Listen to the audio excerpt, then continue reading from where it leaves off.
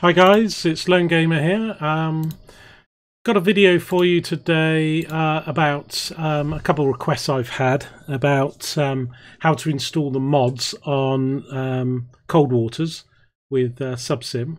So I thought I'd do a little instructional video just to uh, go through it.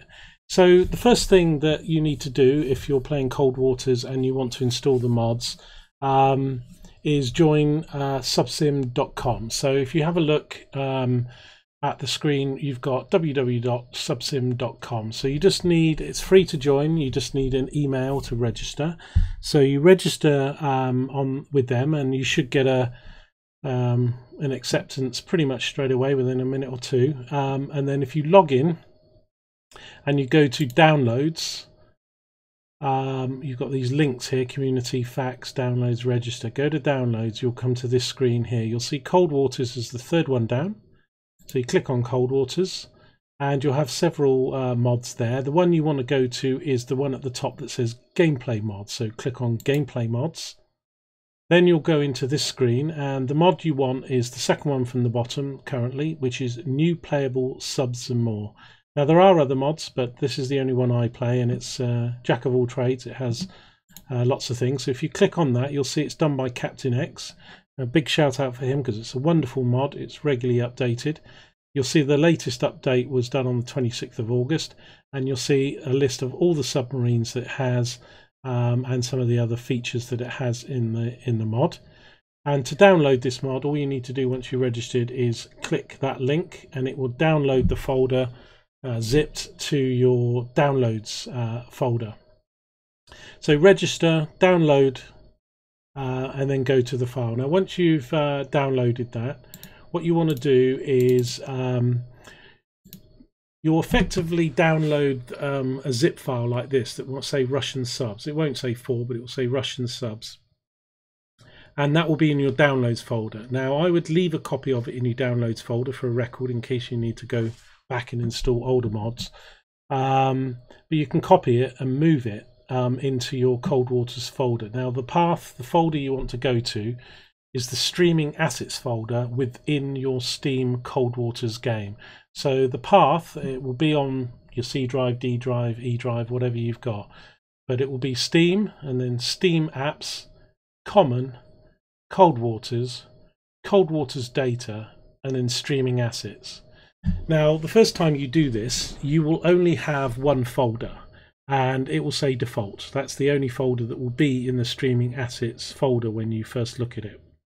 What you'll do is you'll um, copy this from your downloads and put it into this folder and then you'll extract it here extract all I'm not going to do it because I've already done it but essentially you will extract it and then you'll get a Russian subs folder uh, below this one that will just say Russian subs it will look like a normal folder and all it will have in it is a folder that says override so you just take the override folder from the Russian subs folder and drop it in the Steam assets folder. So then you've got default and override.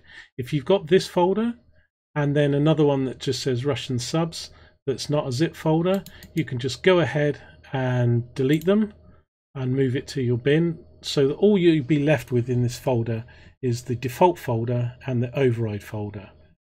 And inside the override folder will be uh, you know the the mod and you don't need to touch anything else essentially once you've done that and it's unzipped override now obviously when you update it um, a second time or third time what you want to do is um, delete the override folder completely send that to your your bin and then just put and replace it with a new override folder you don't need to change certain folders just take out override altogether and put the new one in uh, if the Russian subsims and more brings out a, a later update. Uh, a word of warning, going back to here, is that if this gets updated, if you're in the middle of a campaign, um, often the subs will change, the weapons will change. It's a very high probability that your save game will mess up um, if you update the mod um, midway through a campaign because what you're using might have changed. Um, so what you've what you've got saved is old, and what you've now running is new. So my advice is is to only update the the mods, the uh, this uh, subsim and uh, uh, subsims and more mod um, in between campaigns. Don't do it in the middle because, as I say, there's a high chance it will mess up your your save folder. Um, if you do do it by mistake, I have found a way to undo that. As long as you've kept the old version of the mods in your downloads you can go back and and change it to an older your your previous mod that you had when it did it work and then your save games will still work and you'll still be able to complete your campaign. Um, but yeah that's just a bit of advice so that you don't knacker your campaign up. Um, so that's all you need to do on the website and download and then you'll end up with this override folder and default folder in that path that you see there once you've done that that's the update that's it it's as simple as that there, there isn't really that much to um, installing the mods uh, for this game. What I would say is that a couple of people have downloaded the betas in their library, but they're not actually running the beta on Cold Waters. So if you want to run the beta, um, and pretty much the same with any uh, Steam game, is you need to right click on the game in your library tab and go to properties.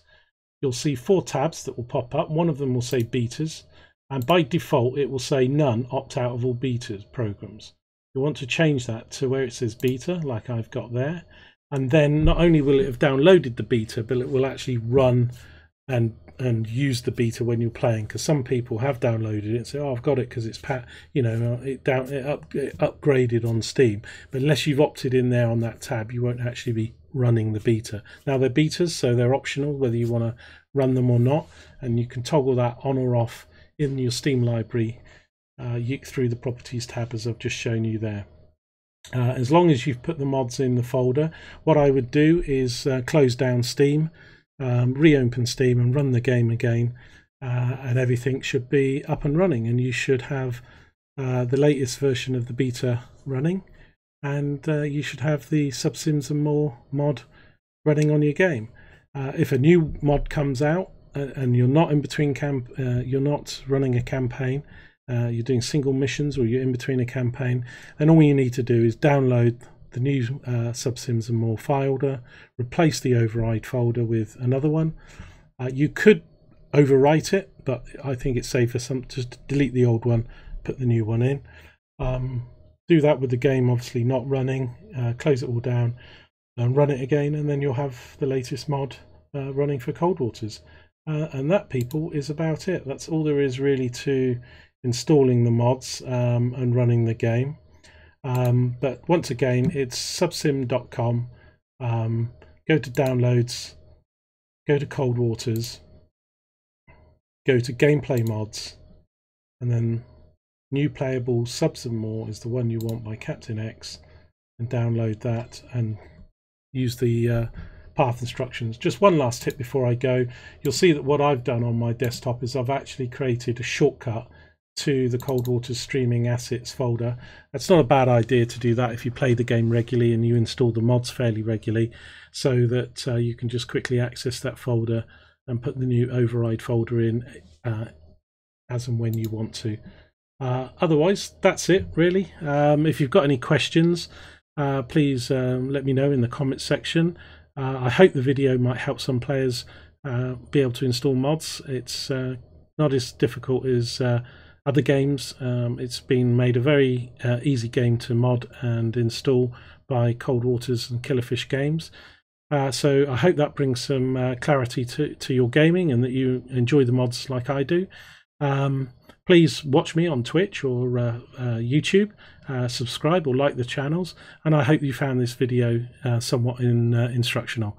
Otherwise, happy gaming. This is Lone Gamer UK. I'll see you again soon.